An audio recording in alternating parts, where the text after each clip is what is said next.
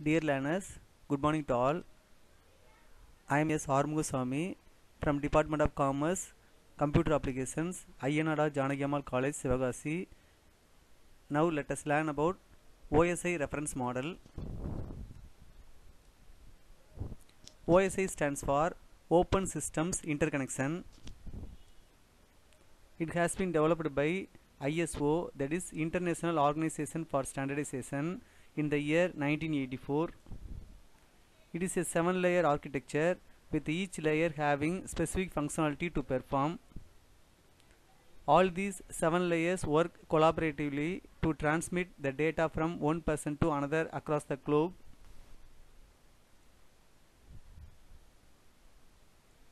These are the seven layers named as first one physical layer, second one data link layer, third one network layer, fourth one transport layer, fifth one session layer, sixth one presentation layer and last the seventh layer is application layer.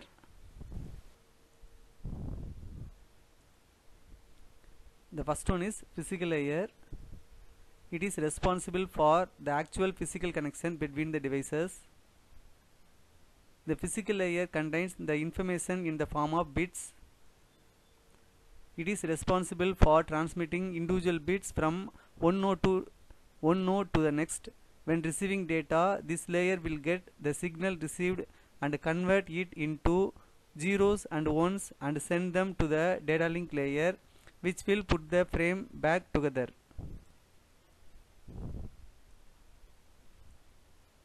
The second one is data link layer. The data link layer is responsible for the node to node delivery of the message.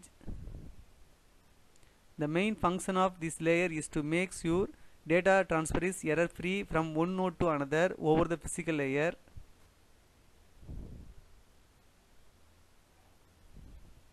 When a packet arrives in a network, it is the responsibility of the data link layer to transmit it to the host using its MAC address.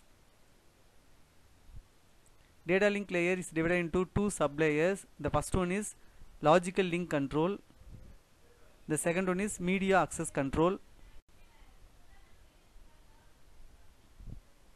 Network layer. The network layer works for the transmission of data from one host to the other located in different networks. It also takes care of packet routing that is selection of the shortest path to transmit the packet from the number of routers available. The sender and receiver's IP addresses are placed in the header by the network layer.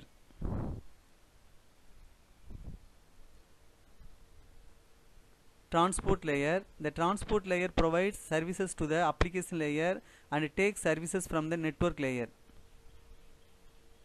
The data in the transport layer is referred to as segments.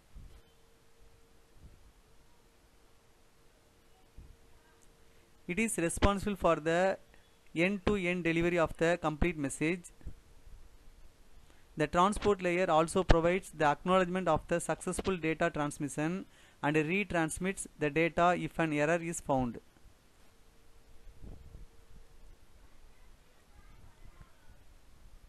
Ne next one is session layer. This layer is responsible for the establishment of connection, maintenance of sessions, authentication and also ensures security. The functions of the session layer are session establishment, maintenance and termination. Next one is synchronization and the last one is dialog controller.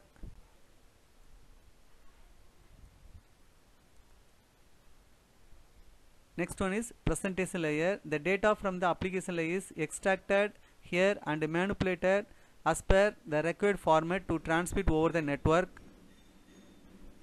The functions of the presentation layer are translation for example ASCII to EBCDIC, encryption and decryption, compression, application layer. Application layer is implemented by the network applications. These applications produce the data which has to be transferred over the network. This layer also serves as a window for the application services to access the network and for displaying the received information to the user. For example, browsers and Skype Messenger. Thank you learners.